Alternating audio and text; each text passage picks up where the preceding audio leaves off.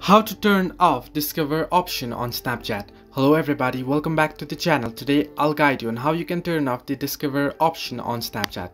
Now here if you open Snapchat app and head into the stories or the two profile icon that you can find at the bottom of your screen beside the search lens, tap on it and here below you'll find the discover option here. Now there is no any particular way, a particular option on Snapchat where you can turn off this discover option what you can do is if you don't like a particular video what you want to do is tap and hold on the video.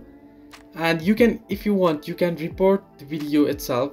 Or what you can do is hide.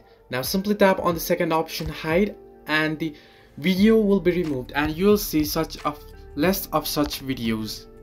Now you can see the video has been removed once I reload it so what you want to know is there is no any particular option to remove the discover or to turn off the discover on Snapchat but what you can do is remove the video from discover. You can simply tap long tap and hold and then either report or either hide and then it'll be removed and you'll be shown less of content from the same user.